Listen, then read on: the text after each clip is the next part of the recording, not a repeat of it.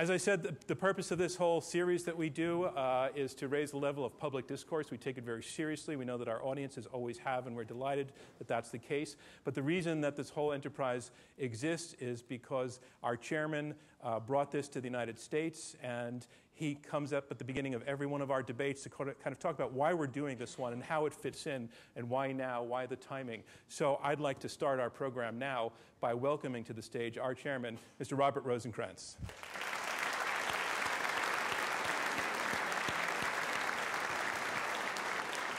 Hi, Bob. Hi, John. Hi, Bob. So, um, you know, as, as a rule, I'm looking back at this season, and we do a lot of debates that are sort of very, very up in the up in the ether. Uh, we, we've done the policies on drones. We've done um, international labor markets. And today we're kind of going in the opposite direction and digging down deep inside the human digestive system. and I, I kind of want to get a sense of what, what's, what's lighting up this debate for us. Well, we did a debate a couple of years ago on the resolution uh, organic food is marketing hype.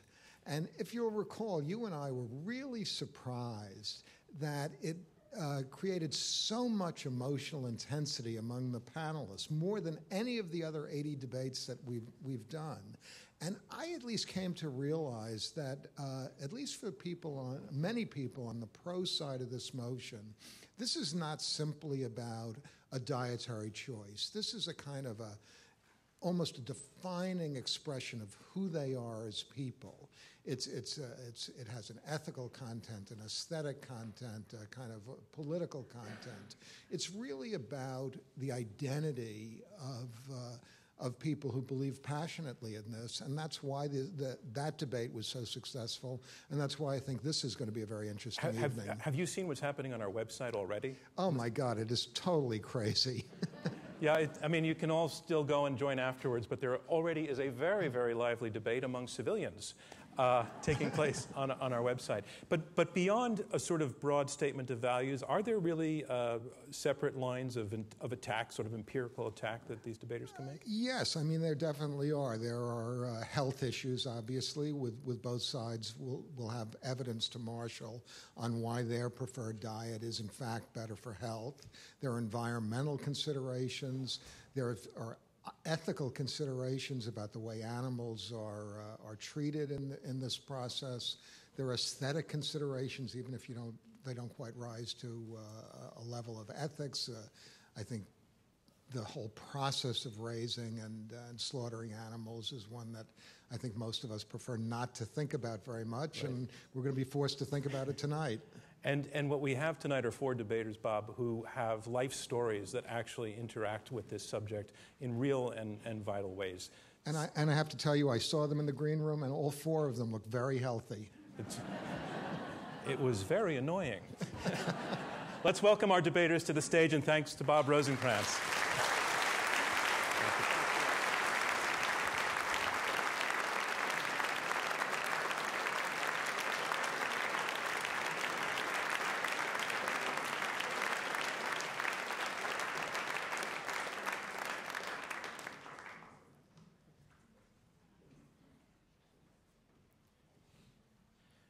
Thank you. And I would just like to invite one more round of applause for Robert Rosenkranz for bringing this here.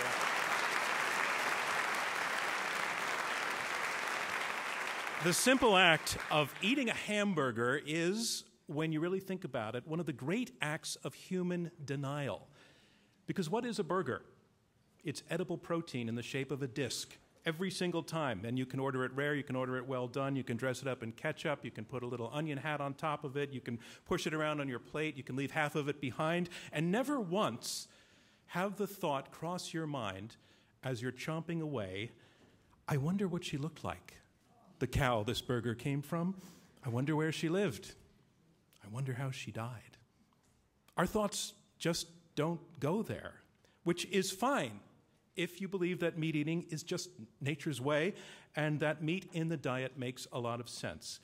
But what if you take the vegan or the vegetarian's view that eating meat is just wrong for your health, for your environment, for your soul? Well, that sounds like the dividing line in a debate. So let's have it. Yes or no to this statement. Don't eat anything with a face. A debate from Intelligence Squared US. I'm John Donvan. We are here at the Kaufman Music Center in New York. We have four superbly qualified debaters, two against two, who will argue for and against this motion don't eat anything with a face. As always, our debate goes in three rounds, and then our live audience votes to choose the winner, and only one side wins. Our motion is don't eat anything with a face. And let's meet the team arguing for that motion. First, let's welcome Dr. Neal Barnard.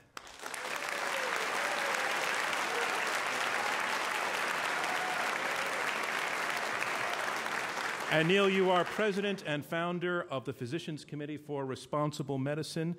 You're a clinical researcher. You study uh, the effects of diet on health. You do not eat meat now, but you come from a family of cattle ranchers in Fargo, North Dakota. So I'm wondering, do you, do you ever get the craving? You know, I have to tell you, it's like quitting smoking. Any moments of doubt you have as you're getting away from meat are quickly replaced by being very, very glad that you've broken a bad habit. You are free now. free now and glad of it. and your partner is? Uh, Gene Baur. Ladies uh, and gentlemen. The president of Farm Sanctuary. Gene Baur. Gene, you are also arguing for our motion. Don't eat anything with a face. You are president of the Farm Sanctuary, as your partner just mentioned. That is an animal rescue and refuge organization that you co founded in 1986. You have been a vegan for decades. And when we first got in touch with you, you were up in Lake Placid doing at the age of 50 an Ironman triathlon, which you said you were doing largely to prove that a plant based diet could get you through 140 miles in the race. You did it under 12 hours. Congratulations. And uh, I just want to ask you if you had had to narrow down your plant based diet to just one vegetable to get you through that race, what would it have been? Got to go with the leafy greens. Kale is what it's about. Kale. We will be handing out kale in the lobby after the debate. Our motion is don't eat anything with a face. We have two debaters who are arguing against it first. Please let's welcome Chris Masterjohn.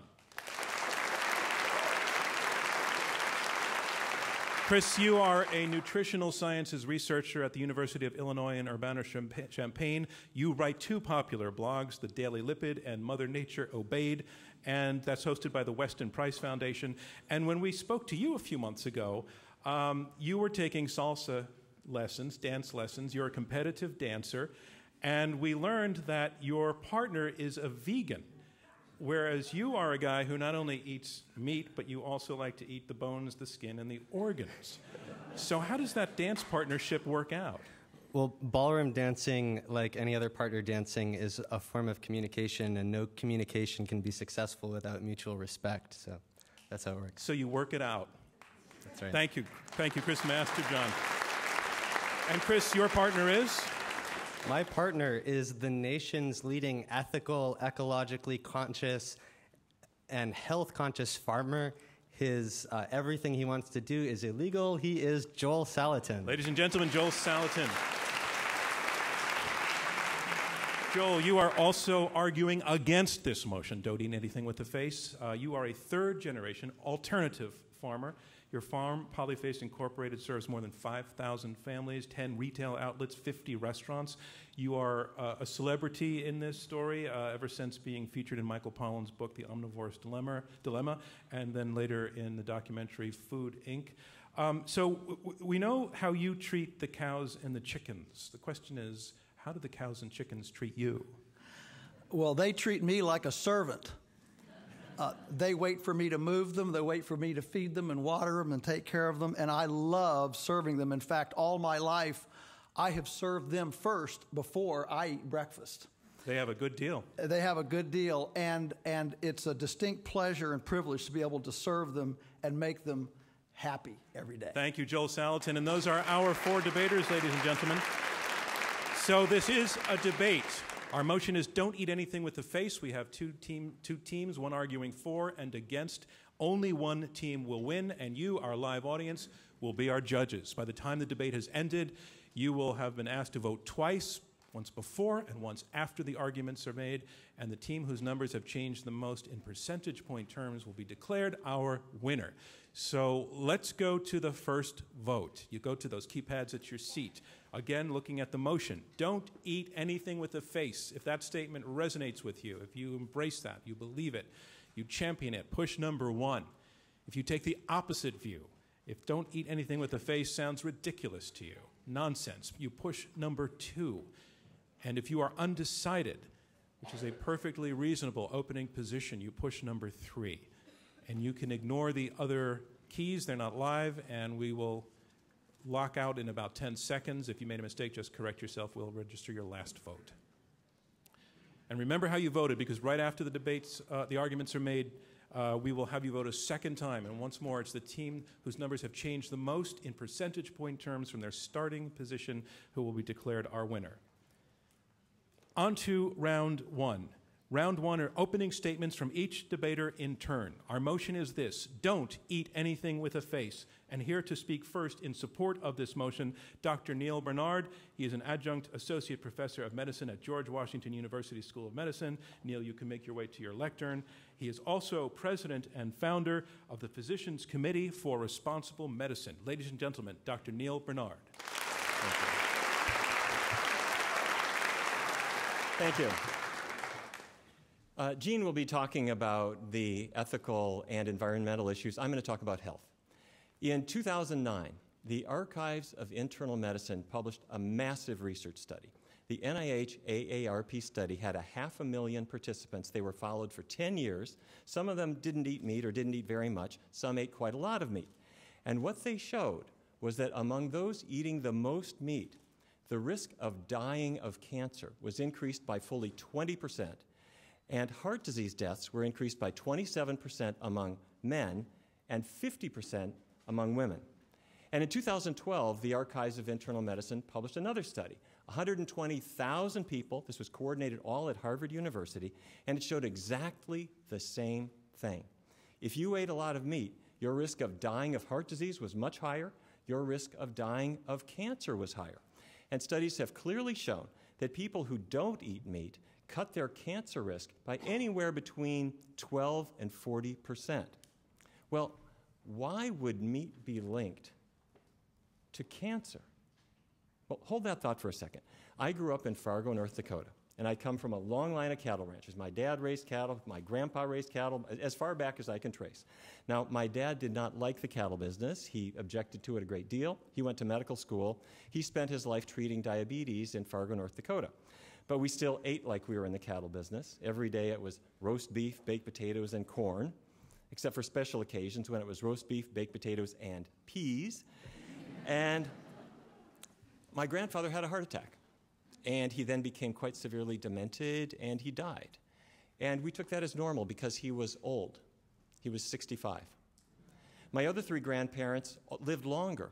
But each one of them succumbed to severe dementia year after year after year, and they all finally died. And none of us thought that maybe food had something to do with this. Now, I got my first wake up call at Fairview Hospital in Minneapolis, where I was the autopsy assistant. One day, a man died in the hospital of a massive heart attack, probably from eating hospital food, but that's another story. Um, and the pathologist came in the room and he knew that I was headed for medical school. So he removed a section of ribs and he sliced open one of the coronary arteries and he said, Look inside. And it looked like chewing gum in this coronary artery. But when I felt it, it was hard like a rock. And he said, That's atherosclerosis. That's your morning sausage, Neal. That's your bacon, Neal. That's your roast beef in there. And he said, We see the beginnings of this in three quarters of people by age 23, which happened to be the age I was at the time. And he wrote up all his findings. He left the room. And I had to clean up. I took the ribs, I, I, put them back in the chest. I tried to make them fit with the other ribs. And I sewed up the skin, cleaned up, and I went up to the cafeteria where they were serving ribs for lunch. now, fast forwarding a little bit, a, little, a few years later, Dr. Dean Ornish brought into a research study people who had atherosclerosis, they had narrowed arteries. He took the meat out of their diets. And something happened that had never been shown before. The arteries actually started opening up again. So much that you could see a measurable difference in 82% of patients in the first year with no surgery and no medications. Grass fed beef does not do that. including the beef my family raised. It just doesn't work. Eating chicken and eating fish just can't do that. And so my research team tried this same kind of diet for people who wanted to lose weight. And NIH funded us to try this kind of diet for people who had diabetes. And it works better than any other diet. Why? Because when you get meat out of the diet, meat has fat in it, and every gram of fat has nine calories. That's its job. You get it out of the diet, you get rid of a lot of calories. Meat has zero fiber. None. Fiber fills you up without calories, and if the foods you have don't have it, you're going to eat too much and you're going to gain weight. Why diabetes? Because getting the meat out of the diet helps fat to drain out of the muscle cells, allowing insulin to start working on its own. And we saw something I never saw in medical school, which is diabetes improving, sometimes even disappearing for all intents and purposes. And when we look at broad population studies, the meat eaters are always the heaviest group, and the people who eat no meat are always the thinnest. Diabetes is the same way. It's about 8% of adult meat eaters, and among vegetarians, 3%. High blood pressure, exactly the same. You just don't see it very much in people following vegetarian diets. But why more cancer? Well, when we heat up meat, something happens that doesn't happen with plant foods, and that's that carcinogens called heterocyclic amines form in the meat, especially chicken, but any kind of skeletal muscle, which is what meat is. But that's not the only carcinogen. We also see polycyclic aromatic hydrocarbons. There is heme iron. There are a lot of things. Plus, meat doesn't have fiber that protects you.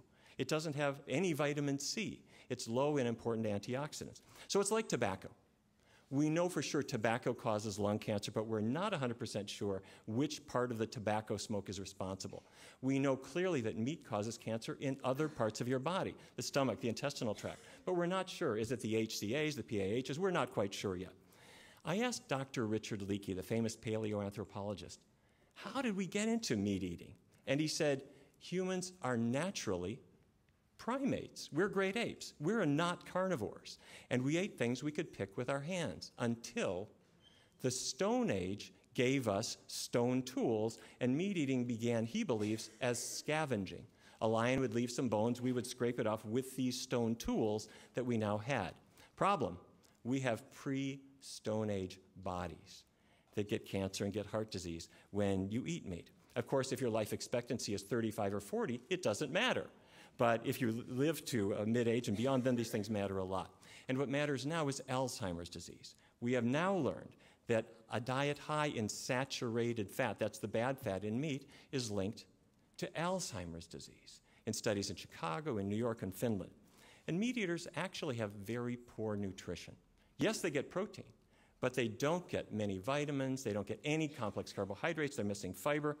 A vegetarian diet gives you all the protein you're going to need plus many more vitamins, many more uh, minerals. So Bill Clinton did it, Al Gore did it, Bob Barker did it, Serena Williams did it. Since 2004, meat eating has dropped by 9%. That's where we're going. That's the future. Thank you very much. Thank you, Neal Barnard. Our motion is don't eat anything with a face. And now, our first debater to speak against the motion, Chris Masterjohn, is a researcher at the University of Illinois Urbana Champaign where he studies interactions between fat soluble vitamins A, D, and K. Ladies and gentlemen, Chris Masterjohn.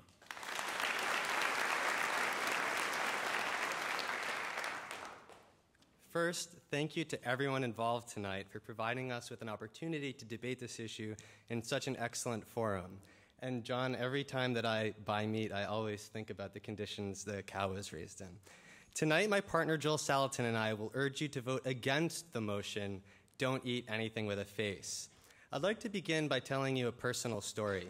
When I was 18, I became a vegetarian because I believed that this would be the most healthful, ethical, and ecologically conscious dietary choice I could make. Six months later, I became a vegan, meaning I excluded all animal products from my diet. After all, I had to follow the inevitable conclusion of my own logic. All animals die regardless of whether we kill them, and what I opposed most strongly was the cruelty and abuse seen in the industrial factory farm, which is often worse for laying hens and dairy cows than it is for animals raised for meat. I'm sure that my opponent, Gene, will explain some of this abuse to you later tonight. A year and a half down the road, it became clearer and clearer that my dietary journey through vegetarianism and veganism was failing to bring me into any promised land of vibrant health. Many pre existing health problems that had mostly been a nuisance to me in the past devolved into burdens that crippled my day to day function. My digestion worsened, my energy tanked, and my irritability skyrocketed. Intense exercise began giving me anxiety and heart palpitations. In a single dental examination, I found out that I had over a dozen cavities and needed two root canals.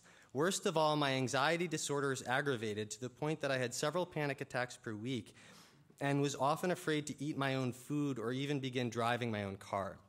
But then I encountered the work of Weston Price, which really changed my life. Weston Price was the first research director for what became the American Dental Association and was a pioneer in nutritional and medical anthropology. He documented all over the globe in different climates, in different altitudes and latitudes, in groups with radically different cultural and genetic backgrounds, the consistent effects of the nutritional transition from traditional diets to what he called the displacing foods of modern commerce white flour, white sugar, white rice, vegetable oils, and canned goods. In every case, the transition was one from radiant and vibrant health to not only tooth decay and dental deformities, but often to tuberculosis, cancer, ulcers, appendicitis, cystitis, gallbladder disease, physical degeneration of all kinds. All of the groups that successfully maintained vibrant health on their traditional diets placed special emphasis on the need for animal products rich in fat soluble vitamins. Some groups emphasized dairy products, others emphasized organ meats and egg yolks others the animal life of the sea, and yet others small animals and insects.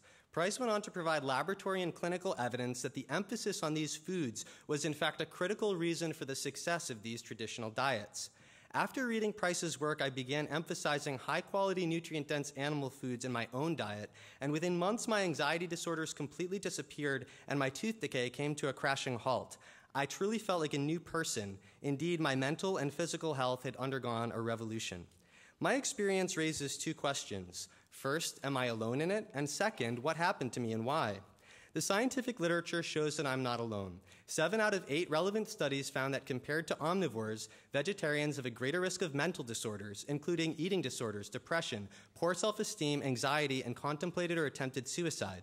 A study published in 2010 found that compared to omnivores, vegans had eight times more lesions involving poor mineralization of the teeth. Why might this be? Well, simply put, many nutrients are much easier to get from animal products than from plant products. Perhaps the most underappreciated of these is cholesterol. Many people are aware that high cholesterol is associated with heart disease, but few people are aware that low cholesterol is associated with mental disorders, violent and self injurious behavior, hemorrhagic stroke, cancer, and increased total mortality. Dr. Barnard himself has published scientific papers showing that although his diet leads to increased intakes of many nutrients, primarily from fruits and vegetables, it also leads to decreased intakes of vitamin B12, vitamin D, and selenium, and fails to guarantee an adequate intake of zinc. Dr. Barnard recommends supplementing with vitamin B12 and vitamin D and emphasizing vegan foods rich in zinc, but the foods richest in zinc aren't vegan at all. They're oysters, beef, and cheese.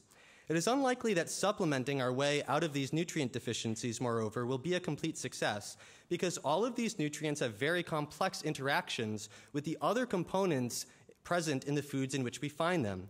Vitamin B12, for example, synergizes with key amino acids found most abundantly in meat, bones, and skin. Is it possible to design an adequate diet that does not include the meat of animals with faces? I actually think that it is. It would include egg yolks, dairy products, and shellfish. Shellfish are neither vegan nor vegetarian, after all, they're animals. But many people might argue, perhaps correctly, that they don't have faces. Such a diet, however, would not be adequate for everyone. Let me provide, by way of example, for now just one reason why. Vitamin A. Vitamin A is found most abundantly in liver and cod liver oil or the liver oils of other fishes, while more moderate amounts are found in egg yolks and butterfat. Red, orange, yellow, and green vegetables provide carotenoids such as beta carotene, which we can convert into vitamin A. However, the efficiency of this conversion is relatively poor and highly variable. Half of people with European ancestry have a genetic variant that cuts their ability to make the conversion in half, and a third have a variant that cuts it fourfold. These people are extremely unlikely to get enough vitamin A from plant foods alone and would do best if they included liver or cod liver oil in their diet, which are derived from animals with faces. In order to construct an optimal dietary approach that is robust to error and adaptable to individual needs, we need to abandon the false dichotomy between healthy plant foods and supposedly unhealthy animal foods, and instead embrace the health value of high quality, nutrient dense foods of all types. Fortunately, animal foods are highest in quality and richest in nutrients when the animals are raised in an ethical and ecologically conscious manner, with high quality soil, out on pasture, in the fresh air and sunshine. My partner, Joel Salatin, will explain more about how this is done and will conclude our opening argument for why you should vote against this motion. Thank you, Chris Masterjohn. And here's where we are. We are halfway through the opening round of this Intelligence Squared US debate. I'm John Donvan. We have four debaters, two teams of two, fighting it out over this motion don't eat anything with a face. You have heard the first two opening statements, and now on to the third. To debate for the motion, Don't Eat Anything with a Face, we're going to bring to the lectern Gene Baur. He is president and co founder of the Farm Sanctuary, the nation's largest farm animal rescue and protection organization. Ladies and gentlemen, Gene Baur.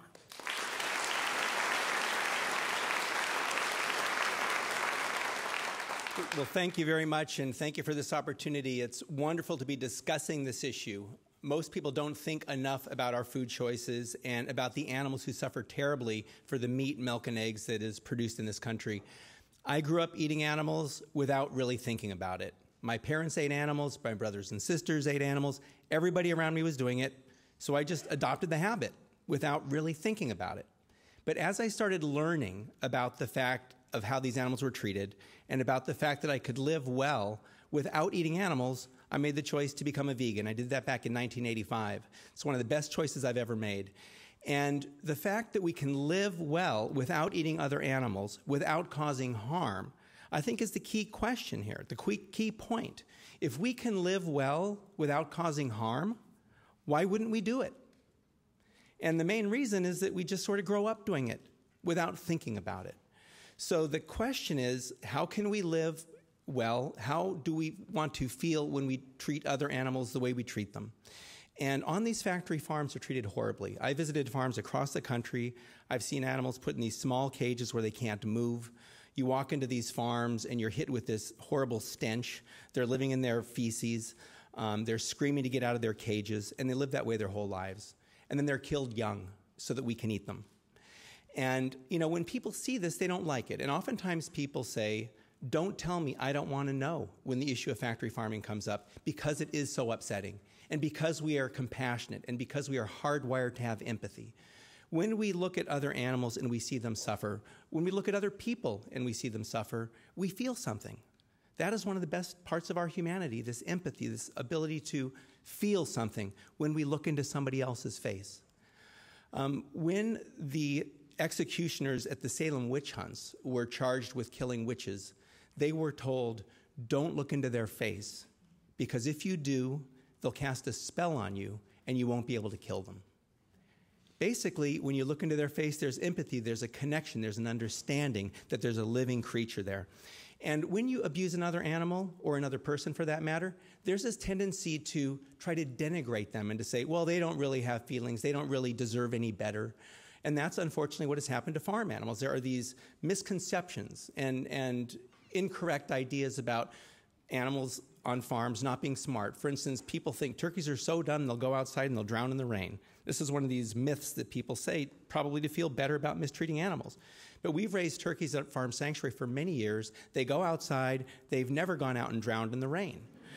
they enjoy, you know, in going indoors and outdoors. And when the animals come to us, they're often afraid because they've only known cruelty. But when they start recognizing they're in a safe place and they start being treated with kindness, they respond. And it's a beautiful thing to see. Uh, we had a turkey at our farm in California we used to call Lydia the hugging turkey. Because you go out into the barnyard and kneel down, and she would come up to you and she would crane her neck around your neck like she was giving you a hug. So these animals show companionship and friendship. Um, and I'm not the only one that has seen this. People who visit Farm Sanctuary and work there have seen this. Um, Jane Goodall also is now speaking out about the fact that these animals have feelings and, and much more uh, in, intellectual and emotional uh, res, uh, depth than we ever knew before. She said, Farm animals feel pleasure and sadness, excitement and resentment, depression, fear, and pain. They are far more aware and intelligent than we ever imagined. They are individuals in their own right. Now, on factory farms, these animals are treated horribly. I think there's widespread support among this panel, even among those who think that it's okay to eat animals, that factory farming is an abomination, that it should not occur, it is outside the bounds of acceptable conduct. The real challenge is discussing what about animals who are not treated so badly? Should we eat them?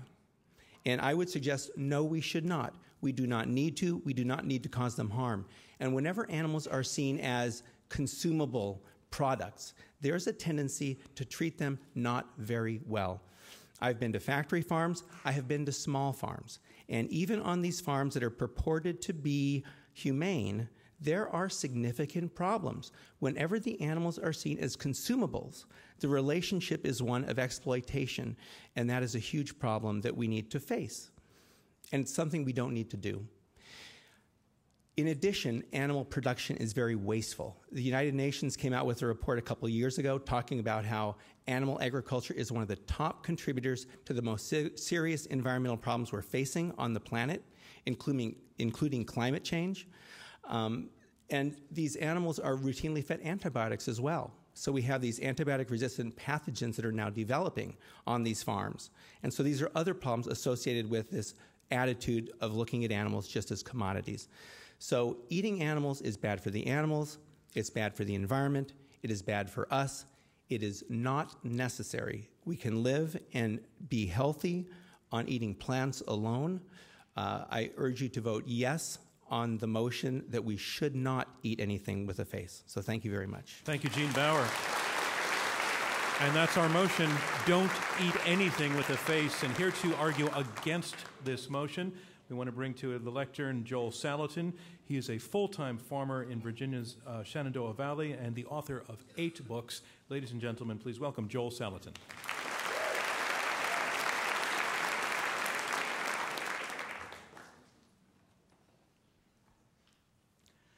Well, we're going to have an interesting uh, evening since potatoes have eyes, corn has ears, cabbages have heads, and goodness, what are we going to do about those navel oranges? Eating things with faces is great, so I'm happy with our negative position. Chris and I have some overarching positions. Number one, affirmative studies, affirmative studies impugning animal farming or omnivorous nutrition must be based on pasture-based data, not chemical, pharmaceutical, concentrated animal feeding operations like CAFOs. On our farm, the nutrient difference in folate, just pick one nutrient, between a USDA blessed, we call it the US duh, the USDA blessed egg at 47 micrograms and a polyphase pastured egg at 1200 micrograms are incomparable. Chris and I categorically reject any and all CAFOs, chemical fertilization, aquifer irrigation, and genetic modification as being necessary or meritorious in food production. Factory food has no merit in this debate, and none of the studies will hold water if they use factory food, and you'll find that they all do. Number two, plants are sentient beings. They attack, communicate, respond, and build communities. Their language is chemical. Plants have faces, even though we might not recognize them. The affirmative promotes a segregated view toward life. Chris and I promote an integrated view. Number three, the motion before you does not allow for climate, cultural, economic, or hunger contingencies. And it's interesting, the affirmative has not asked for any contingencies. If the affirmative wanted some contingencies, they should have worded the resolution or not agreed to their position. Chris and I will hold them to the motion's clarity. Number four, domestic livestock are owned by 60% of the world's poor primarily because they represent portable wealth to the unlanded poor and nutrition density protected from spoilage and vermin. The affirmative position is a direct attack on the world's poor. Number five, Not a single affirmative study assumes modern pasture based models using high tech electric fencing, portable shade cloth shelters, permaculture hydration techniques, or cottage based localized processing infrastructure. This oversight dooms every affirmative conclusion to obsolescence. Number six, life requires death.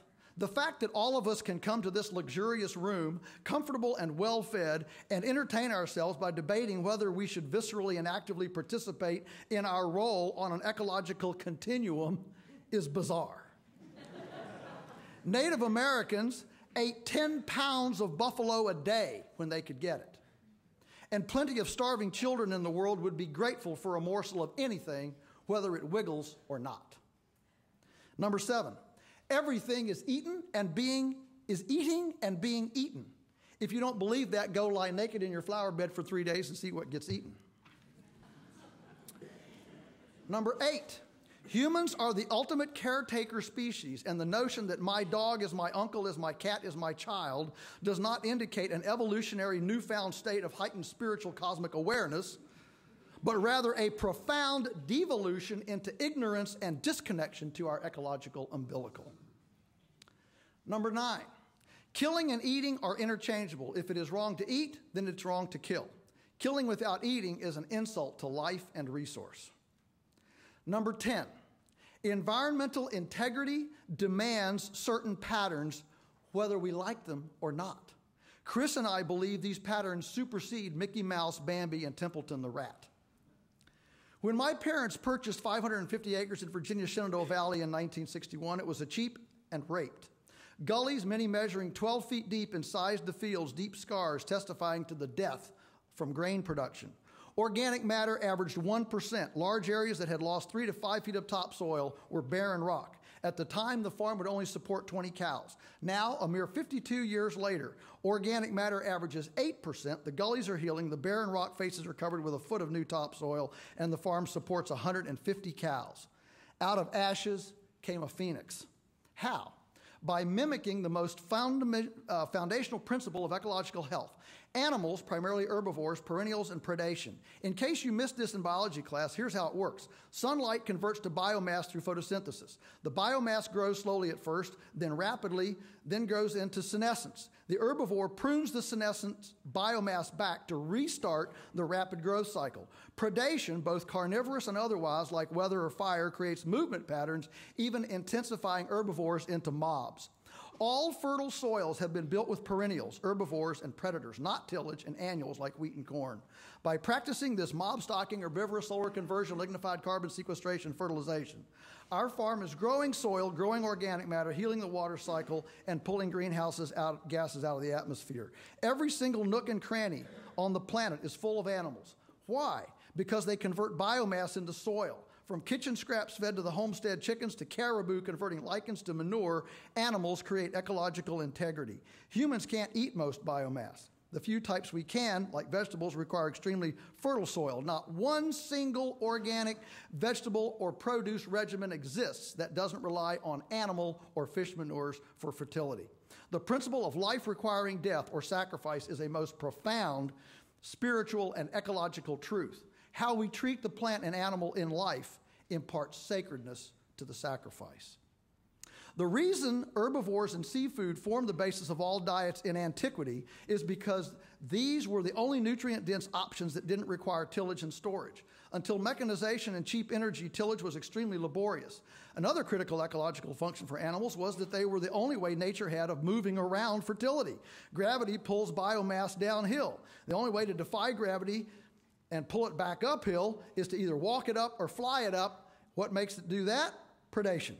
The most efficacious way to remediate environmental degradation while producing the nutrition required by our human population is to embrace animal husbandry in a biomimicry paradigm, perennial animal predator.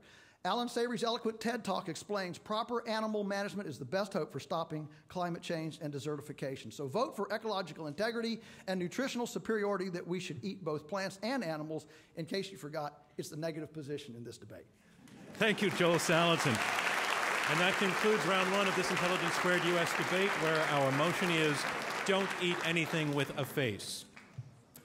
And now we move on to round two of this Intelligence Squared US debate. I'm John Donvan. This is our motion. Don't eat anything with a face. We have heard from each of our teams in opening statements. We heard from Neal Barnard and Gene Baur, who are arguing in support of the motion don't eat anything with a face.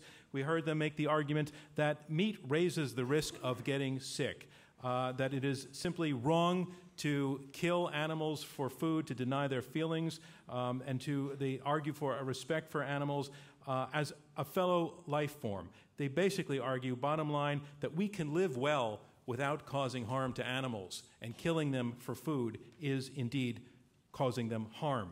The team arguing against the motion, Chris Masterjohn and Joel Salatin, they're saying it's basically it's about the nutrition, folks, and they're saying there is nothing as nutritious as meat, that it delivers nutrients uh, in far greater uh, density than any other form of food. And they also make the interesting argument that even to be discussing uh, a world of veganism is really a privilege of modernity. That, in fact, in parts of the world that are not as privileged as the United States, an animal is, uh, is, is an, an, investment. An animal represents wealth, and an animal represents food that can be kept alive and fresh until the time that it has to be eaten. And that's the way it always was until very recently. Now, we've seen several strains of argument here practical, health, um, and ethical. And I'd like to explore all of them. Uh, I want to stipulate that it's clear that these debaters do agree about one thing. No, no one on this stage is in favor or arguing to justify factory farming. What they are disagreeing about is whether it is right to kill an animal for food or not. So we want to be focusing on that aspect of this, and on that, there is a strong disagreement among them. I, what I want to do is take to the side that's arguing for the motion, don't eat anything with a face, who opened with the health argument that food, uh, that meat makes you sick, that this is well documented. And we heard the personal testimonial of Neal Barnard as a young medical student, uh, seeing that for himself firsthand with patients that he was treating. And, and bring to you, uh, Neal, your opponent, Chris Masterjohn's testimony to the opposite. He went on a vegan diet, got really, really sick from it. His teeth started falling apart. Right. He felt terrible, and he went back to meat because his argument is that's where the nutrients are. Neal Barnard. Well, I don't want to speak for Chris, but having read the documents that he circulated in advance, he had the psychiatric issues before he went vegetarian, while he was vegetarian, and after. And if I read them correctly, he said that eating cholesterol was not sufficient, that he also needed religion in order to fight his way back. And I say this not to mock it, but to say that these problems were pre existing uh, before the diet change. And the studies that he cited were observational studies. We have put this to the test we worked with the insurance company Geico in 10 different cities, and we introduced plant based diets for, for about 300 people, and we measured levels of depression, levels of anxiety. They got better. And we have now about three randomized trials along these lines. People get better. And as, as people who have done this, they, they find they feel more energetic, which is why a lot of athletes are doing it. Dental health acts exactly the same. In fact, even the study that he cited, when you looked over the longest period of time, the vegetarians kept their teeth more while the meat eaters tended to lose okay. them. This let's, is not a reason to have a soda. Let's let Chris respond. And Chris, we, we're not we're not going to make this a debate about uh, your personal history, okay? um, and and I don't at all think that that's the, the spirit in which Neal responded. So he, he was making he's making the point on the science, and I'd like you to respond on the science as well. Uh, sure. Um, so I think uh, the science about whether whether those studies indicate a causal relationship between vegetarianism and mental disorders.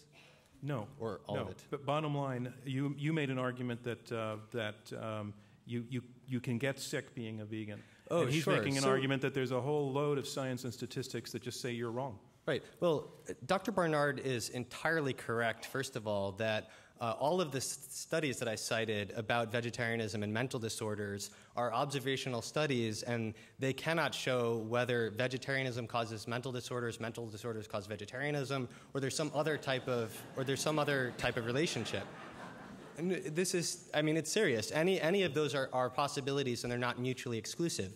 What we do know is that there's uh, a wealth of information about biochemistry and the effects of the specific nutrient deficiencies that can be most common in vegetarian diets that are, that are all related to mental health. And so biologically, it's very plausible. But I would like to also make the point that Dr. Barnard cannot uh, have his low fat, low glycemic vegan chocolate cake and eat it too, because the studies that Dr. Barnard cited uh, at the beginning about the relationship uh, between uh, eating meat and cancer and coronary heart disease are also observational studies, and they also tell us absolutely nothing about cause and effect relationships.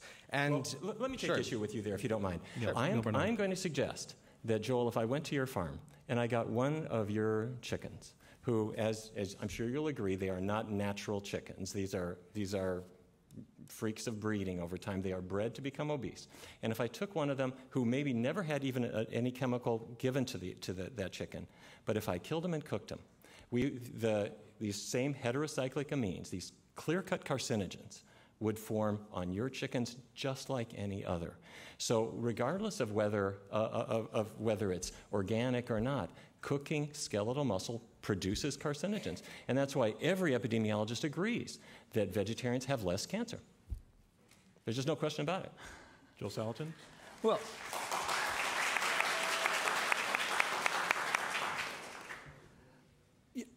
anything, if you're trying to uh, create cancer out of something, uh, an excess of anything can, you know, you can drink too much water and get sick.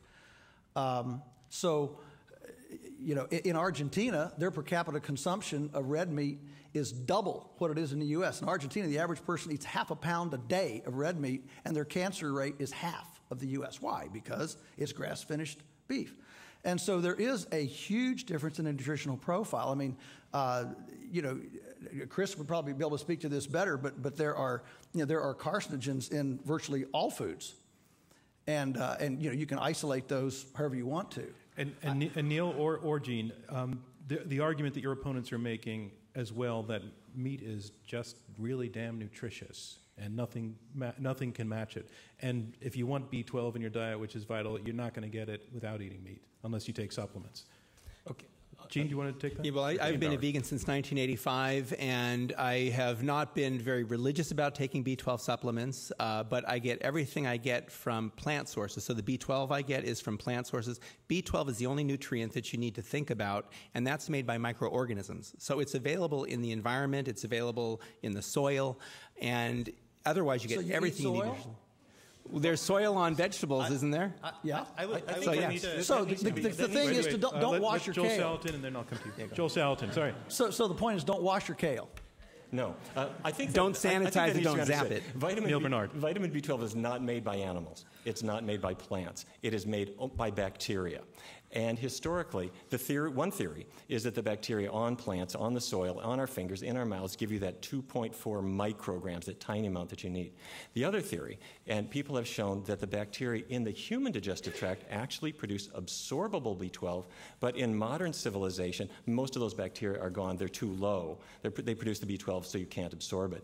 But in more primitive cultures in, in, cultures in developing countries, you do see production of B12 in humans just like in, in the other primates, and it's fully absorbable. The truth is, nobody really knows for sure. But what we do know is that most B12 people in hematology clinics are meat eaters. And they are low in B12 because they are not absorbing it. It's hard to absorb B12 from meat. You need good stomach acid, you need intrinsic factor, and the U.S. government recommends that all meat eaters over the age of 50 take B12 supplements because otherwise Okay. they Uh, are Chris deficient. Masterjohn. Yes, I would like to take uh, this discussion uh, back down to earth for a minute. So, to put this in perspective, Wait, what do you mean? What do you mean by that? Why do well, you feel he's I, not? I mean, no, these are all great points, and it's it's a fascinating discussion to think about how we could get ba- vitamin B12 from intestinal bacteria or from soil or from feces left on vegetables. But to No, that's but not I what think I'm arguing. I, I, I think we want to. I think we feces. want I'm, to. I'm not arguing that. I'm arguing take a supplement because you don't want to be, Right. be I- I- relying I- on Okay, it. But that's to good put this clarity. back, I mean, to put this back into context, we should just look at what are the studies on vitamin B12 deficiency levels in vegetarians, in vegans, and in elderly subjects who have poor digestion.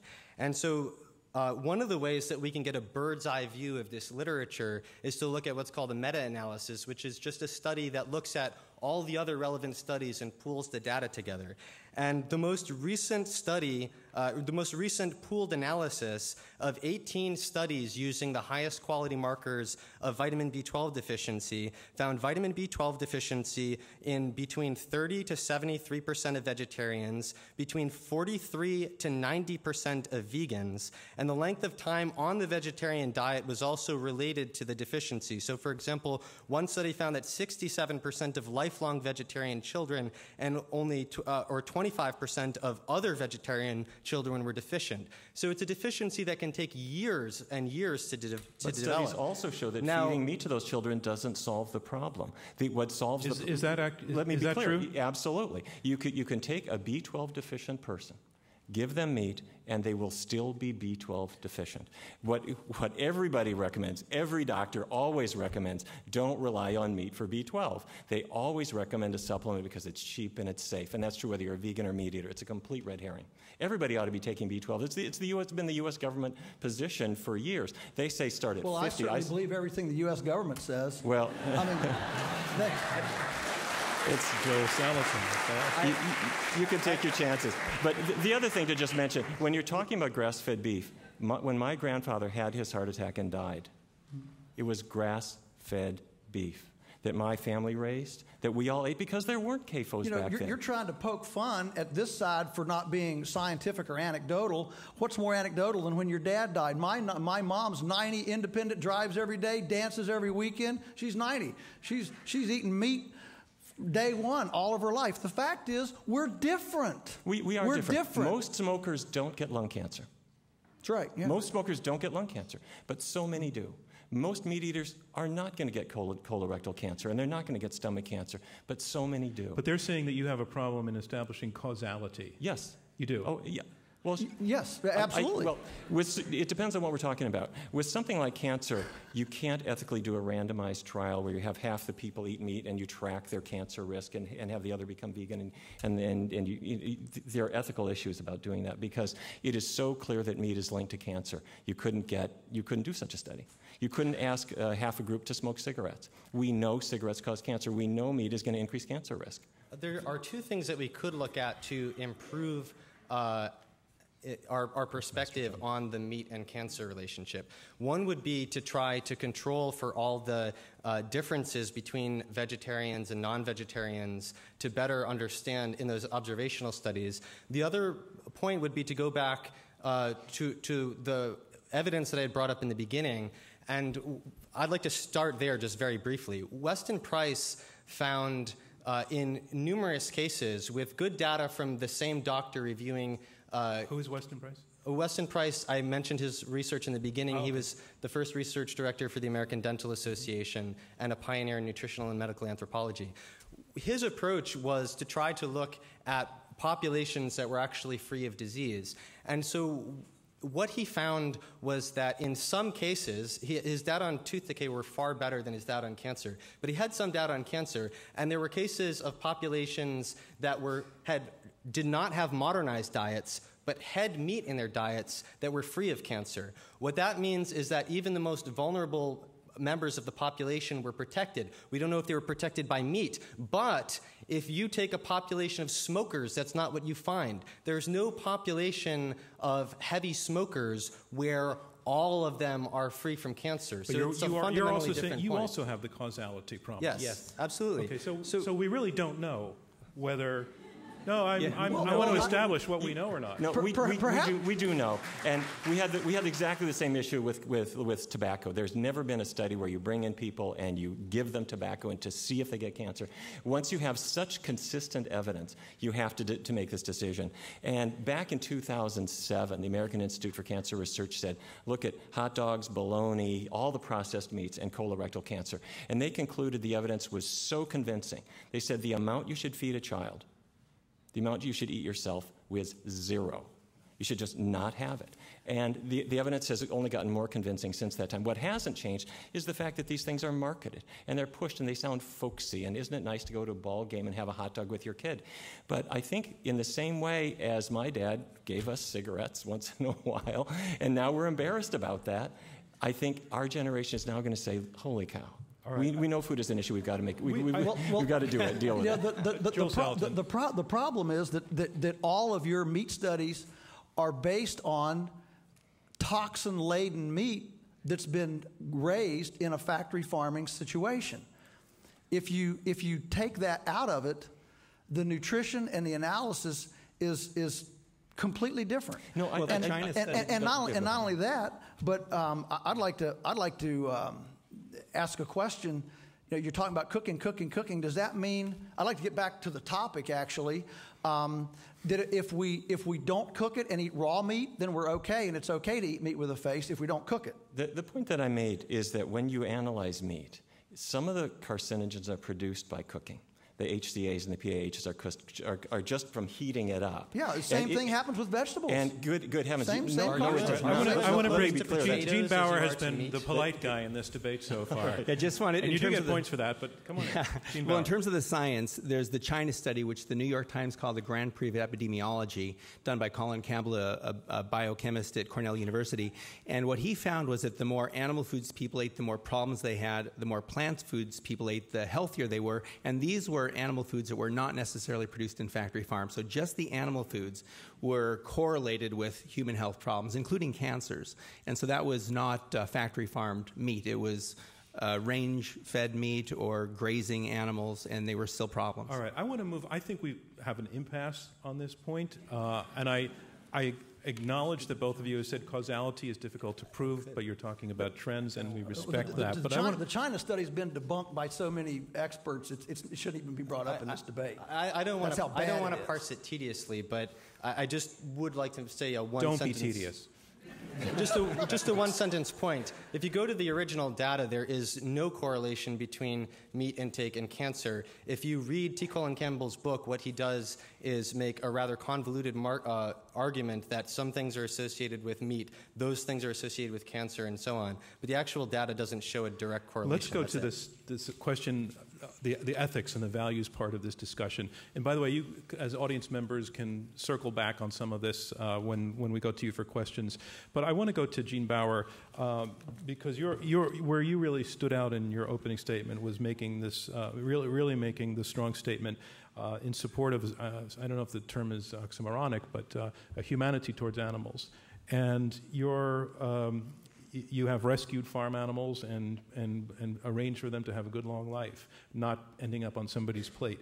And one of your opponents, Joe Salatin, who raises uh, animals in an organic uh, system, um, basically made the argument that um, uh, eating and being eaten is part of life, and that the, the kind of argument that you're making about uh, uh, wanting to take supplements and eat only vegetables is a privilege of the 21st century in the United States, and that it, this is new, and that uh, history, evolution, reality, and most of the rest of the world is you've got to eat meat, and there's nothing wrong with that. Take that on. Well, I think over the course of our history, we've done what we've had to do to survive, and often that has been eating meat. But it's also sometimes been eating other people. And we've also done a lot of things over the course of our history that have not been very good. You know, uh, you know, you think of institutions like slavery. And as time goes, we come to look at these things more critically and we start making decisions and choices that are, I think, more humane. And when it comes to animals, um, they have feelings like we do. They're not that much different than we are. And there's been attempts to rationalize and say, well, they are different. They don't use tools, for example. Then Jane Goodall found that animals were using tools, and we had to change our thinking and say, well, they don't use language. But now we see that these other animals use language. Uh, you know, turkeys and chickens have many different uh, calls for different things. And as we learn, you know, I think our responsibility grows, and the fact is we can choose not to eat other animals. In the case of a lion, they don't have a choice. In the case of us, we do have a choice. Gene, where, where do you go on the evolutionary scale and putting uh, uh ourselves fairly high up and putting insects fairly low down? I mean, would you swat a mosquito? Would you, would you kill a snake? Would you trap a rat? To me, it's about not causing unnecessary suffering. So if I don't need to cause harm to somebody else, I'm going to try not to do that. And, you know, there's a difference between dying and being murdered. You know, and even people like E.B. White wrote about this, you know, who wrote Charlotte's Web. He said, A farm is a peculiar problem for a man who likes animals because the fate of most livestock is that they are murdered by their benefactors. The creatures may live uh, serenely, but they end violently, and the odor of doom hangs about them always. So there's it's about our relationship with other animals. Is it about compassion and kindness, or is it about cruelty and exploitation and killing? Let's go to the farmer on the other side who's arguing against the motion, Joel Salatin. Yeah, well, you know, I don't have any problem with uh, vegans. I really don't. Uh, they become our best customers when they find out they can get healthy with our meat. But um, where I really get my dander up is when I'm accused of saying you can't love because you dress animals. That's a powerful Did you say statement. dress animals? Dress is a euphemism for slaughter. It just sounds nicer on the radio. It sure did. I was picturing a tutu and a little hat. I'm glad it I means like you one. dress them for the table. You know, nobody wants a live chicken on their Okay. dining room table. You know, you want it dressed. Okay. You want it, you know.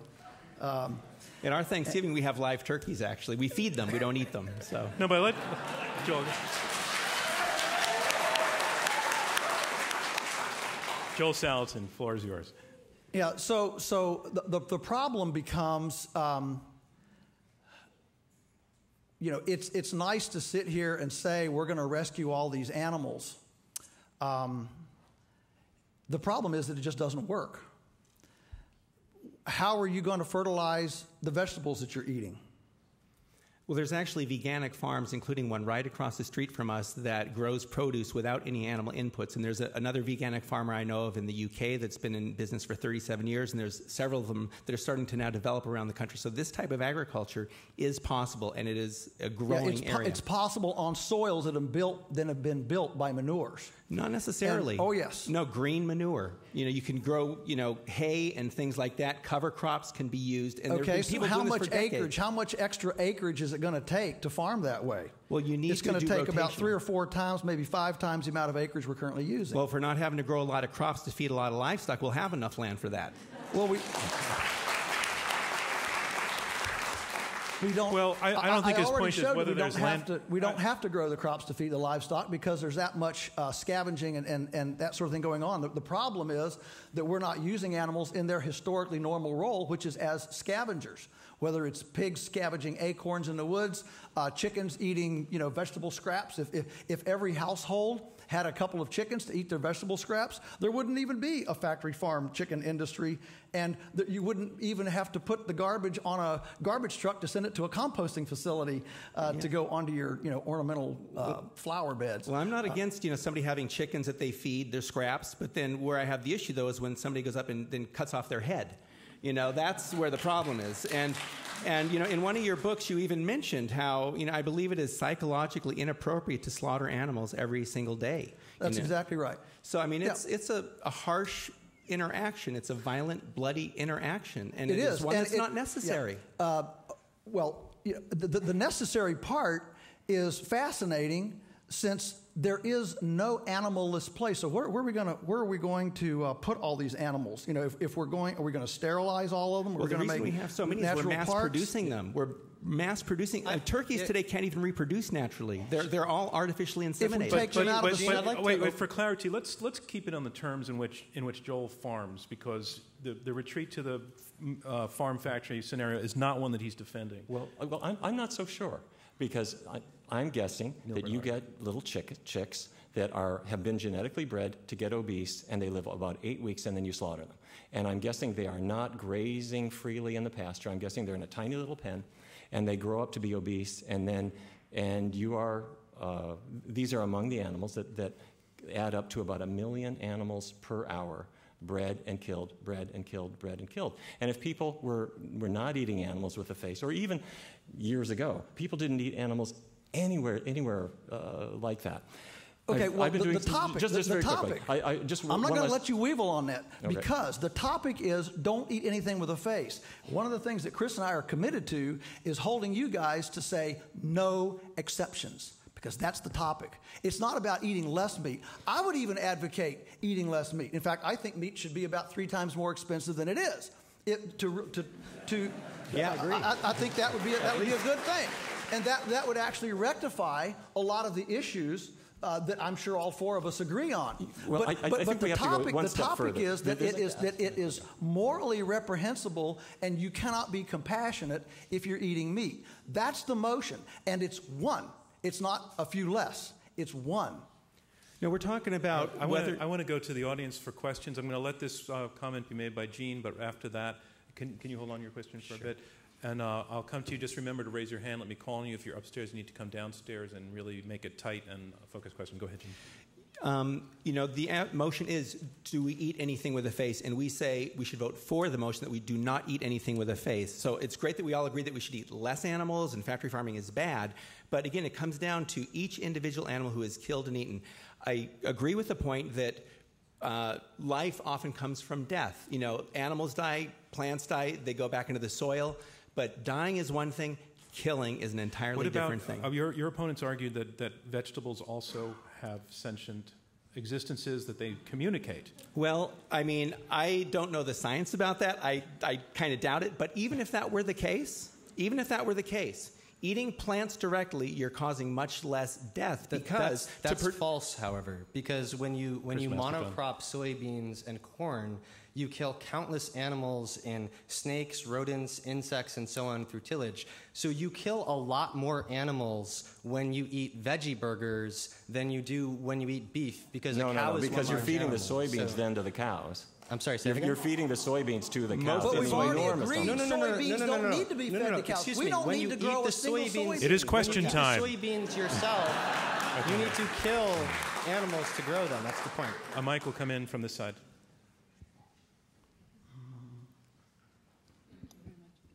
Thank you very much um, for the lively debate, and thank you for taking my question. My name is Kendra. I have a question for Dr. Barnard.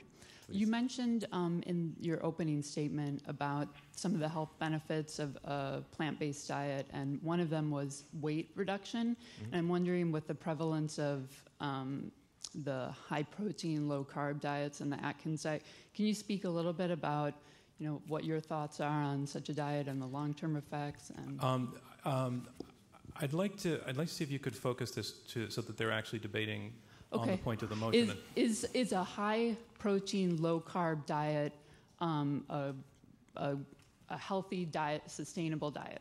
That Okay. Um, The short answer is no. Um, people, but, but you're raising an, an important paradox is that in some of these um, fad diets, people would eat what they what seemed like a lot of meat, but they were still losing weight because they were avoiding all carbohydrate. But in more careful study, it all came down to calories. If people's eating that way did not reduce their overall calorie intake, they didn't lose an ounce. And that's why a lot of people on Atkins and di- other diets like that, they just don't lose weight. And that's why almost all of them end up regaining and going beyond later. Plus, their cholesterol levels go through, through the roof. And they have, over the long run, these people do miserably. Sir. Uh, you, you can take cracks at these questions uh, each time if it goes to one side. If you want to, you I- can take I it would like other to side. take a crack sure. at that. Sure. Chris Masterjohn. Um, so I, I've read a lot of Dr. Barnard's studies, and I'm very impressed by the way that they're designed and the way that they're reported. But if you look at the data, what I think Dr. Barnard has clearly shown is that the metabolic effects and the improvements in almost every health measure are due to weight loss. And what Dr. Barnard has created is uh, a uh, run-of-the-mill weight loss diet with mediocre efficacy that where there's lots of positive effects due mostly to the weight loss that occurs in the first three to six months and then starts creeping back up. Um, and if you wait no, a second, you're- just let me please let me finish the you point. know then you Chris? can respond. want to If stop you. I want to stop sure. you on this because it's turning into a personal attack. Um, and, and, and then he's going to have to spend 15 minutes defending everything that you I, say. I can do it much quicker. and, and, and so I would, I would prefer that we move, that we move on and go to Okay. a, quest, a question up here, sir, in the blue. We just discourage, you know, going after people in terms like that. Sir, go ahead. This is Alex. This is for Dr. Barnard, too. Uh, the motion is don't eat anything with a face, and one thing which may have slipped through the cracks is fish, which has f- a face as well, and we haven't really. I got an email from a friend saying, "Could you please change the motion to don't eat anything with an ass?" because he, w- That may work. he wants well. to eat fish. But so, so fi- fish has kind of slipped through the cracks of this debate, and it hasn't really been discussed. And I wondered what your thoughts are about fish, and can you eat a mainly vegetarian Baur, diet or you pescatarian diet? Let's let, we haven't heard from Gene. Let's let him take that, and then the other side respond. Again, the more that we look at these individ- these animals, the more we learn that they have sentience, that fish have feelings, they have memory, they learn from each other. And again, we don't need to kill them and eat them. So, from an ethical standpoint, I'd say we don't need to. And again, I've been a vegan since 1985. I've gotten everything I've needed from plants. Joel Salatin, you were talking about uh, populations that live near the water. That's where they go. Well, absolutely, and and uh, you know I find it fascinating that all of the attributes given to animals, plants have too. Uh, the DNA structure of grasses, for example, when you introduce a species, it nativizes its DNA structure to become more climatically nativized to a certain place. That's memory. That's genetic memory and adaptation to a certain place. If that isn't responding to things, I don't know what is. And, and, and, and I, I just, I just absolutely don't appreciate this false dichotomy that when I take the life of a carrot, the carrot doesn't scream. And in answer to the fish question, you're good with the fish. I'm eating. absolutely good with the fish. I like fish. Down front uh, here. but, but I will say this I only eat fish when I'm on the coast. I don't eat fish in Oklahoma City. Uh, That's part of the local, the, the integrity, the, the nesting in the womb that creates that, that, that food integrity. But so I love to eat clam chowder when I go to New England, but I don't want to get clam chowder in, in St. Louis. We skipped over the health issues. Let me just, 30 seconds on this. Um, Can you make it 15? 15. Go. When, when we look at fish eaters and compare them to meat eaters, they are marginally slimmer than people who eat heavy amounts of meat, but they are nowhere near as slim as the vegetarians. The, the, the fish eaters as a group have more diabetes. Carcinogens form in cooked salmon just like in cooked chicken. And uh, there, there's nothing like getting the skeletal muscle out of your diet. And fish also have a central nervous system and brains. Down front here.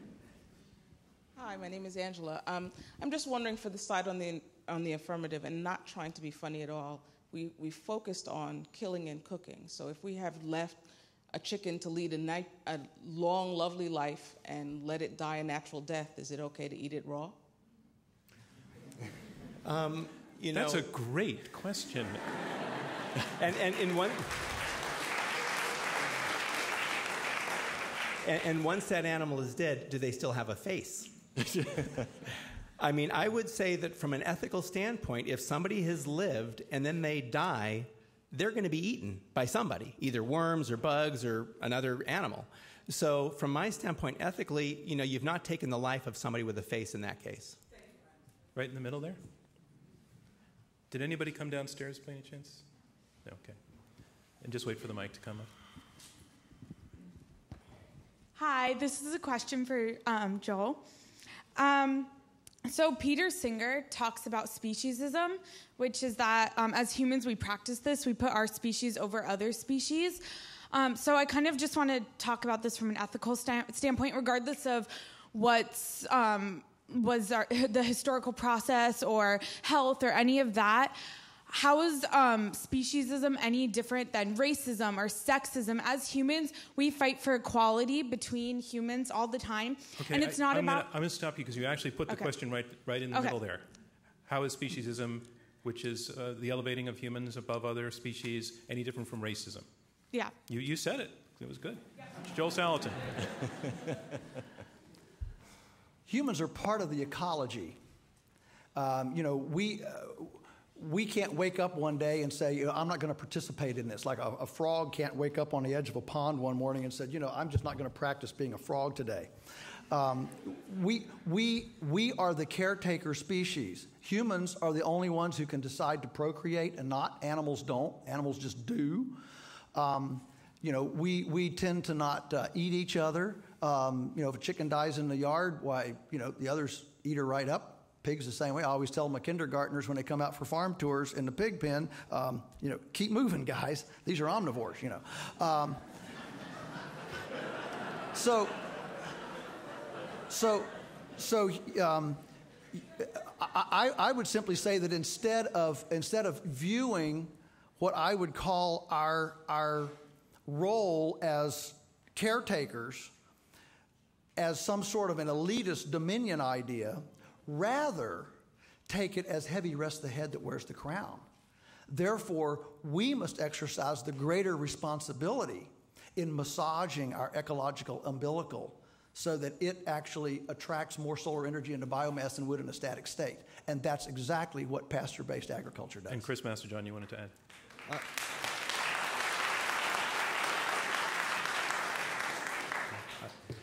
Joel and I essentially agree on this, so I'm not going to add too much. But I, I do think one of the things that the other side uh, needs to articulate is um, a, a, way to approach this harm reduction uh, in a way that is economically and ecologically sustainable. So one of the things that I wonder, and this could be taken as an open, open-ended question, definitely not a criticism.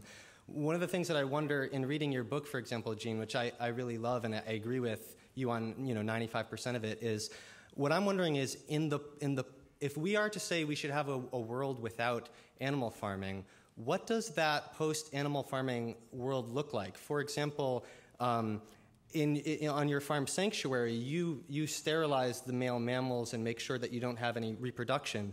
So we're exercising some responsibility in minimizing harm to those animals by keeping the population size down. So when we shift to a post animal farming world, do we move towards eradication of the domesticated farm species? Or do we have something like your sanctuary on a larger scale? Okay, and if it's a larger scale, how is it economically sustained? Gene well, Baur. Well, as I mentioned, there are some veganic farms now that are forming, and I think that's a very good model. Um, I think it's also important to recognize that all species of farm animals, with the exception of the turkey, have been imported into the U.S. So cattle, for example, are now ranging where bison used to range, and so I think bison should be back there. And um, when we're growing plants and eating them directly, it requires far less acreage. So a lot of wild space could be left wild. And veganic farming is, necess- is not necessarily no animals. There are wild animals, and you're interacting with animals, but in a not a less harmful way. And that's what it's about. It's doing as good as you can, uh, causing as little harm as possible. And this is an evolving process. So I think there's some good signs. Like I, I would disagree vehemently with the fact that it takes more area to grow this food this way. That again is coming straight out of the United Nations, which I don't trust as far as I can throw a bull by the tail, which isn't very far.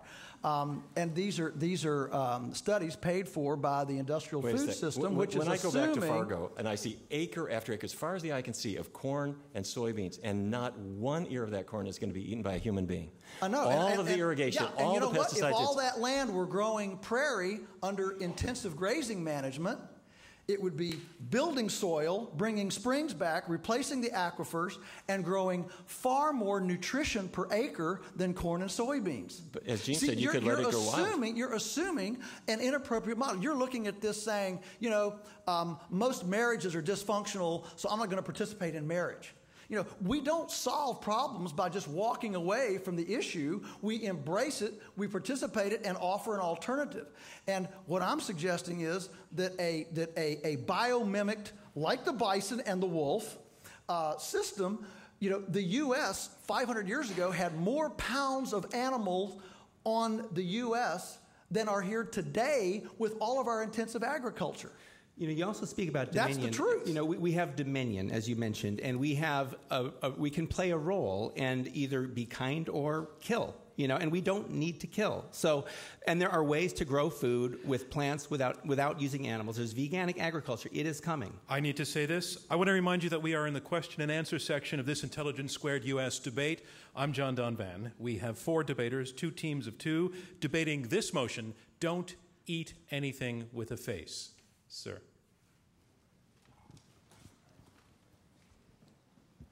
Thank you, guys. Uh, I'd like to frame this the, the health aspect of this debate. I think when you're exploring, Can, can you keep the mic just sure. close? When you're when you're exploring optimal health, uh, especially for the he, the human genome, you have to look at anthropology and evolution. So, um, so what role?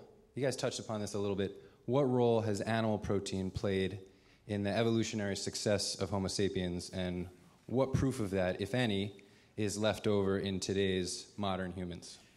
Does, does any, is that a question that anybody can answer without being wildly speculative? It's a, it's a really interesting question, but I don't know if we have. Go ahead, try it. Try it, Um, Chris. Master sure. John. I, I just want to make two really quick points. Uh, one, since you bring up uh, since you bring up evolution, and Dr. Barnard brought up primates. I just worth pointing out that chimpanzees, according to Dr. Craig uh, Stanford, whose uh, expertise in that area, eat uh, 50 to 100 grams of meat per day. They hunt it and they use it as a commodity to trade it for food and sex and also for their sustenance. But on evolution, I think it, the lesson that evolution gives us is that there's variation in the population. That variation changes over time. And so I'm not arguing that no one can be uh, healthy on a vegan diet. I think Gene proves that you can. But the, the point is, the motion doesn't say some people should not eat anything without a face. It says don't eat anything without a face. And what we see is that there are genetic variations, like I mentioned in the beginning, and many others, where not everyone can get the nutrients from plant foods as well as other people. Some people will do well, some people won't. That's the lesson from evolution, is that variation. Okay.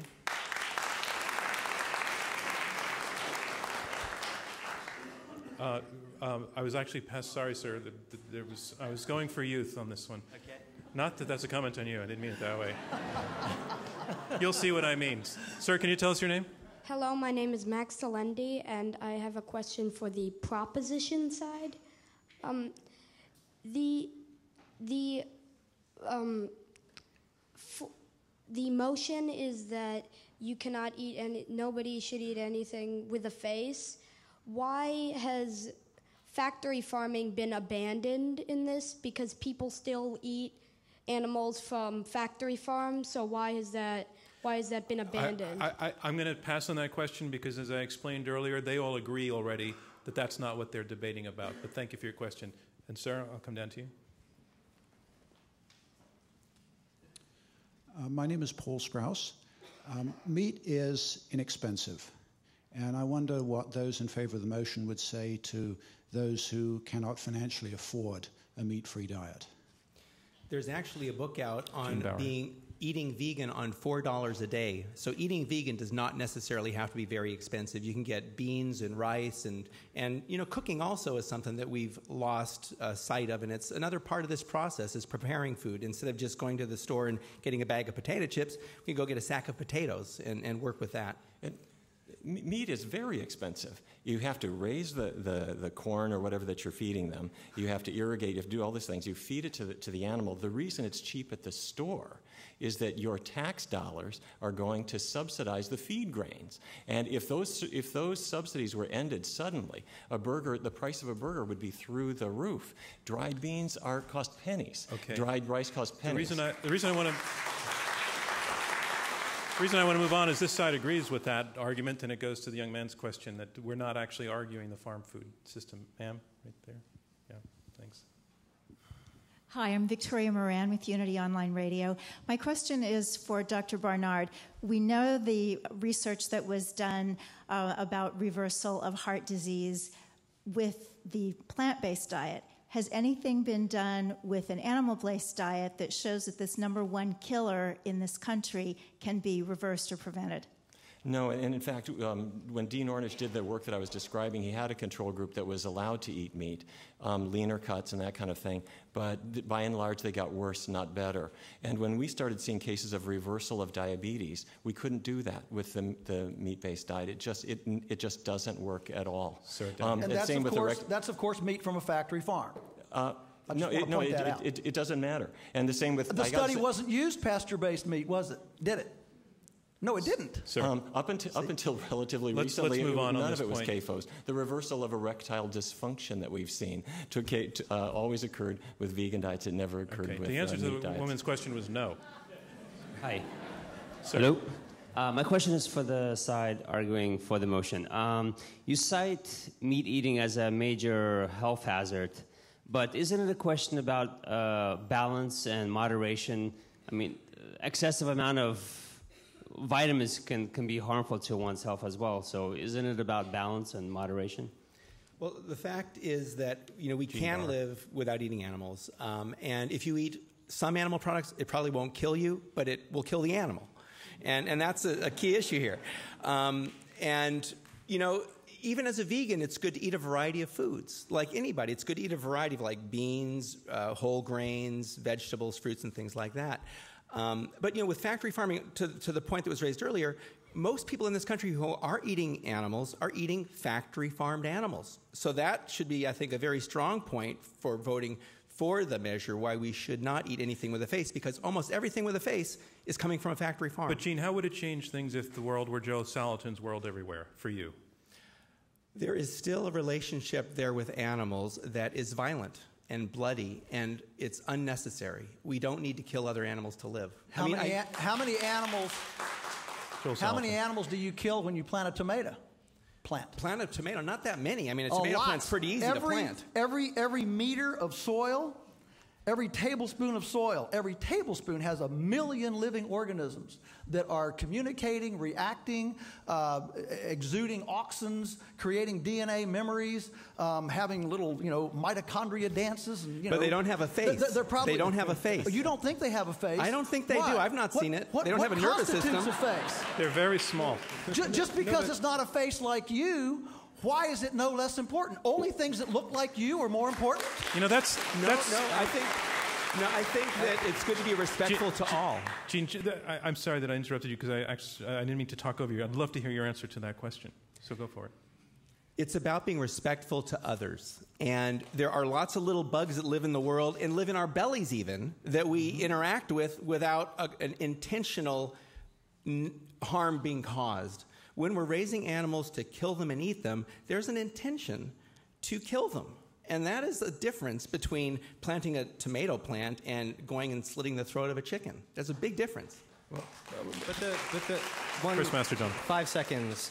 Um, the millions and millions of animals that die during tillage for large-scale plant operations that are needed to that would be needed to provide calories and protein for human beings do have faces. I don't think we need those factory crop farms either. We're looking at small scale, local. I mean, we're, we're kind of on the same page with that type of agriculture, and it could be plant based. So it doesn't have to be these massive. So you, you like what he's doing. but ex- you, you like what he's doing for the, with plants on his farm. You don't like what he's doing with animals. Period. That's right. Yeah. Well, you- you're, you're assuming, you're assuming Salatin. That uh, we can get the nutrition. I mean, two thirds, two thirds of the uh, planet's surface is not arable.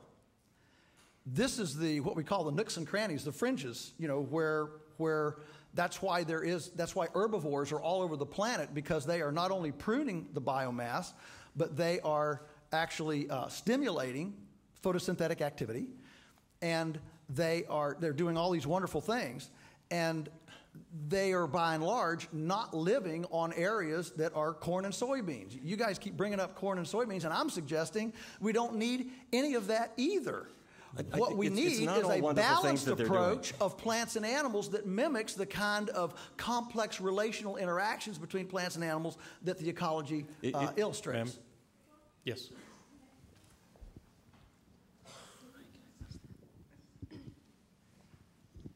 Thank you. This is really interesting. Um, my name is Rosa Montan. I'm a Swedish journalist over for two weeks to improve my English, and this is great. Uh, I, I just want to uh, change focus a little bit because we're talking a lot about ethics and farm animals. And I come from an area in Sweden where we hunt a lot of moose, roe deer, wild boar, etc., etc. Uh, I know that a lot of hunters they think they're doing an ethical job, keeping down the numbers of animals, because if uh, they didn't, the animals would uh, get I, sick. I just just for time. I Yeah, need you to okay, zoom so- into sorry, your question. Uh, go out uh, into the roads and get, you know, like roadkills and all. How do you look upon that? Is it, it more justified to kill wild animals like moose through hunting. Through hunting. Through hunting, yeah. I'll It's- put it to both you. sides. Uh, I, I- I think it's really all about the relationship, you know. And in this country, you know, the deer populations are actually managed so we can have people go out and kill them. So the hunting is actually used as an excuse to go kill. We've removed all the, the natural predators. So I'm in favor of a more natural ecosystem, and then for human beings to interact in a humane way and to not cause harm if we don't need to. And hunting is certainly harm. Other side like to respond to that? Go ahead. I, I would just like to say, I, I guess, isn't this a, a matter of the the directness of our complicity rather than our complicity? So if we move towards a world that has more wild animals with more predators, where those animals are not I, I know on there there are issues with humane slaughtering now, but those animals will um, suffer the same fate of factory farmed animals, where they can get ripped apart where they're still alive. You still have those animals dying, the slaughter is less humane than it could be with humans. So, aren't we just removing our directness in the complicity rather than our actual complicity? Well, you, Yeah, know, you pre, pre, pre 14. You know, one, one thing I often pre, say- pre 1491, there were 100 million bison in the U.S. and 1 million wolves.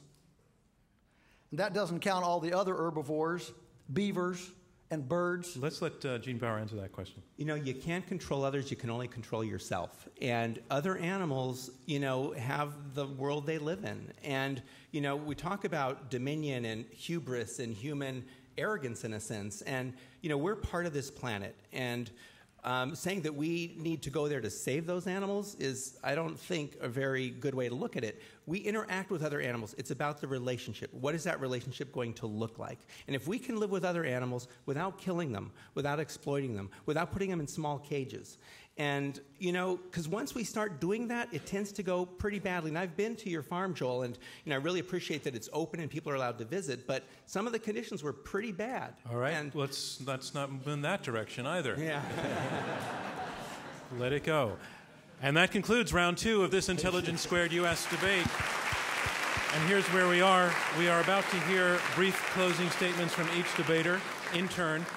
These closing statements will be two minutes each. Remember how you voted before the arguments began. Right after this, your second vote, and that will decide the winner for us. On to round three closing statements. Here to summarize his position against our motion, don't eat anything with a face. He's against this motion. Chris Masterjohn, a nutritional sciences researcher and author of the blog The Daily Lipid.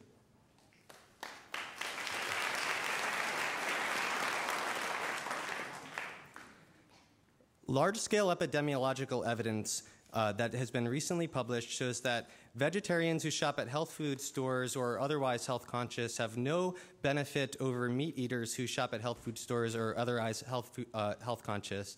And this tells us nothing about causation because it's a correlation. Uh, Dean Ornish showed that uh, a program limiting sugar, sugar derivatives, corn syrup, white flour, fat, alcohol, smoking cessation, peer support, exercise, and stress management through meditation, stretching, and visu- visualization, along with the exclusion of meat, reverses heart disease, perhaps, uh, but hasn't shown that reversing meat specifically does. What this means is that science is very complex. So I'd uh, like to offer a way to synthesize the information in a way that embraces the uncertainty as a source not of frustration and confusion, but of empowerment. We should take as our baseline the spectrum of traditional diets associated with population wide freedom from degenerative disease, where even the most vulnerable members of the population were protected. These diets all lacked refined foods and all contained nutrient dense animal foods, regardless of whether they ate a little or a lot. We should build on this with our scientific understanding of physiology, which shows that animal foods provide nutrition and that dietary needs vary from one individual to another and may in the same individual vary from one period of life to another we should uh, this emphasizes the importance of fine tuning our dietary approach to achieve what makes us personally as individuals healthiest. The motion tonight fails to prevent the death and suffering of animals in an ecologically and economically sustainable way. It's inconsistent with traditional diets, not validated by modern science, and reduces our ability to individualize our diets as needed. Because its particular form of absolutism is so lopsided, it's even more harmful than the converse proposition to always eat something with a face, so I urge you to vote against it. Thank you, Chris Masterjohn. And that is our motion. Don't eat anything with a face. And here to summarize his position in support of the motion, Neal Barnard, a clinical researcher and president of the Physicians Committee for Responsible Medicine.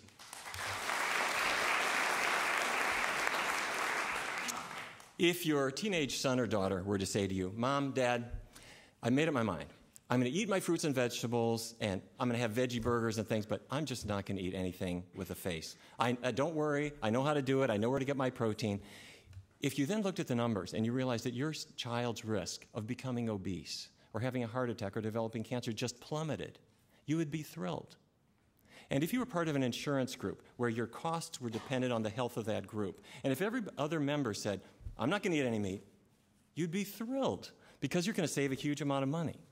The world's strongest man is Patrick Baboumian, who recently lifted 1,210 pounds on an entirely plant based diet. The world's greatest ultra long distance runner is Scott Jurek. He runs 100 miles, 125 miles, 150 miles at one stretch faster than any living human being on an entirely plant based diet. This past Monday, the World Memory Championships were held in London. And contestants there can memorize a pack of cards in 30 seconds. And the winner was 25 year old Jonas von Essen of Sweden, who was powered by an entirely plant based diet, and arguably the world's greatest brain. Albert Einstein wrote some words I want to share with you. In my view, that the, it's my view that the vegetarian manner of living, by its purely physical effect on the human temperament, would most beneficially influence the lot of mankind. And Einstein continued So I am living without fats, without meat, without fish. And I'm feeling quite well this way. It always seems to me that man was not born to be a carnivore. A generation ago, we tackled tobacco, and while everybody is free to smoke, we just know that we're not going to do it. And today, the issue is food. For yourself, but most importantly, for that animal who is your child or your neighbor's child. This resolution makes the most health sense. Don't eat anything with a face. Thank you, Neal Barnard. Again, that is our motion. Don't eat anything with a face. And here to summarize his position against this motion, Joel Salatin. He's a third generation alternative farmer in Virginia's Shenandoah Valley.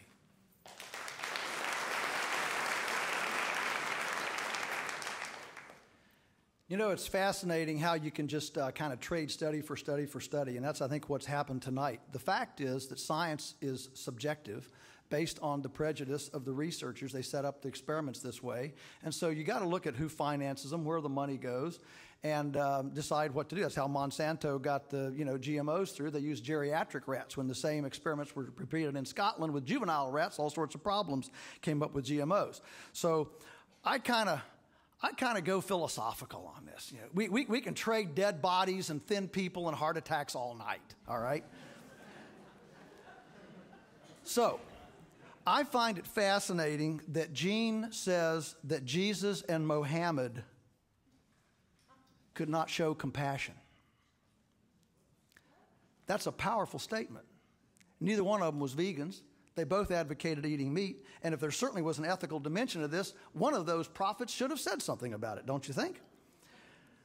The anatomy of a human is predaceous. Our eyes are in the front of our heads, we have incisors. We're not built like prey, we are predators. And remember, there are no exceptions in this topic.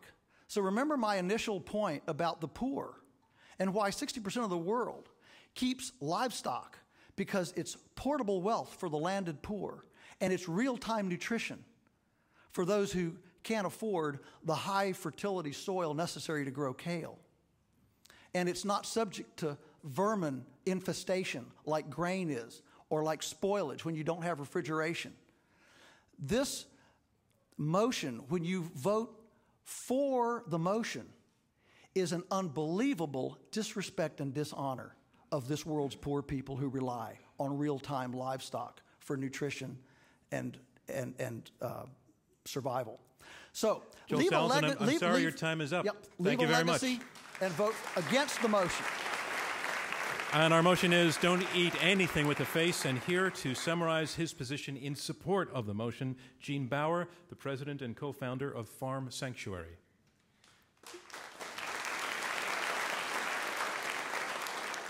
Voting for this measure is voting for sustainability. It requires far fewer resources to grow plant foods as opposed to animal foods.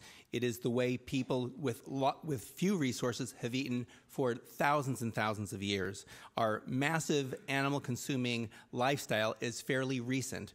We all agree that factory farming is bad. And we need to look at that because most of the animals who are killed and eaten today come from factory farms. If we think that that is unacceptable, we need to vote yes on the motion not to eat anything with a face.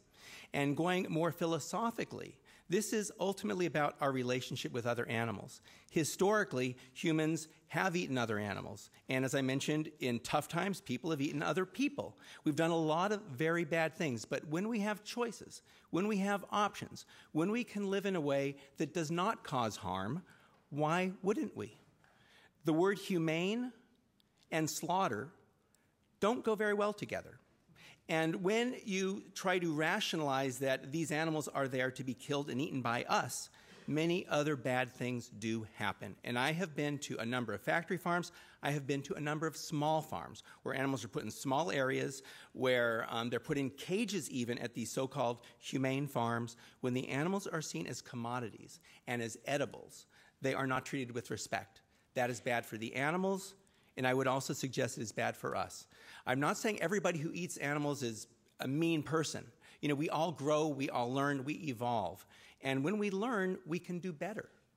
Uh, and that's what it's ultimately about. It's about intent. And if you vote yes on this, that doesn't mean you've got to be vegan tomorrow. This is a principle that we should not eat anything with a face. These are other animals. They have feelings just like our cats and dogs. They deserve to be treated with respect. Please vote yes on the motion. Thank you, Gene Baur. And that concludes our closing statements. And now it's time to learn which side has argued the best. We're going to ask you again to go to the keypads at your seat to register your vote on this motion after having heard all of these arguments. The motion is don't eat anything with a face. If you now embrace this motion, as stated, push number one. If you're with this side, push number one. If you're against it with this side, push number two. And if you became or remain undecided, push number three. And we will uh, have the results in about 90 seconds. Before that happens, um, one thing I'd like to do, first of all, is to ask all of you to show your appreciation for four debaters who took this into really interesting areas.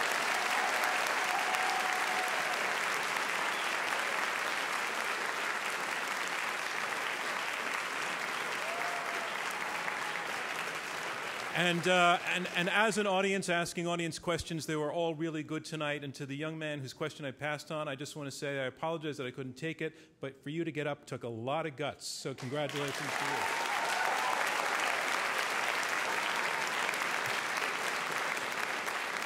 And we always like it when former debaters come back to sit in the audience. And we have Sheldon Krimsky here, who was here last year arguing. He, he argued one of our toughest ethical debates where the motion was prohibit genetically engineered children. And I bet, Sheldon, take a, stand, a, a, a bow. I bet it's a lot easier to. a lot easier to watch from there than to be up here. Uh, we'd love it if you tweeted about this debate tonight. Remember, our Twitter handle is at IQ2US and our hashtag is VegDebate. Our next uh, season starts back here in January. We're starting on the 15th. The motion that night will be Obamacare is now beyond rescue. For the motion, Dr. Scott Gottlieb, he's a, a, practicing physician and former FDA deputy commissioner. His partner is Megan McArdle, a columnist for Bloomberg View who writes on ec- uh, economic business and public policy. Opposing them uh, and supporting the rescuability of Obamacare, Jonathan Chait, he's a commentator and writer for New York Magazine, and Dr. Douglas Kamerow, he is a professor of family medicine at Georgetown and a former assistant surgeon general.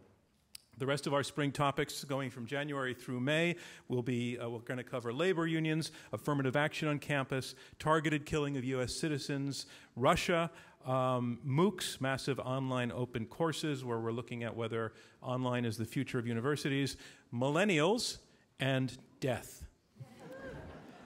Uh, tickets for all of our spring debates are on sale now through our website, www.iq2us.org.